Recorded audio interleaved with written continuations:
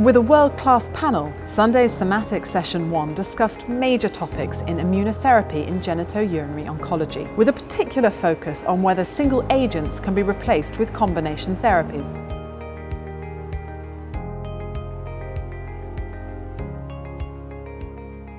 Kidney cancer is an immunogenic cancer. We know that. Kidney cancer tends to be infiltrated by immune cells Kidney cancer also in the past has responded to immunotherapy strategies like high doses of interleukin-2 and kidney cancer also when it's treated with the classical anti-angiogenics the system, the immune system gets modulated. So we get more infiltration of immune cells and also we get an upregulation of PD-L1. I think that tells me there is a window of opportunity. I got a tumor that has to do with the immune system. I got a treatment that we've been utilizing for 15 years that modulates the immune system. So why not taking advantage of that and utilize immunotherapy sequence or combine with uh, tyrosine kinase inhibitors with anti-angiogenics.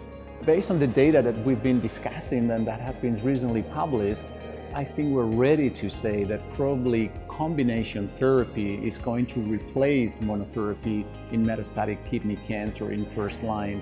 I think only a small number of patients will be excluded from this treatment option in the near future.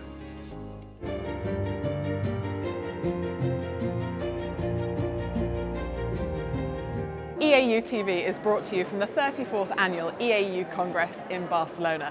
And if you'd like to watch more things like this, then you can click on these videos here. And you can also subscribe for the very best in medicine, from psychology to urology, from gynecology to genetics.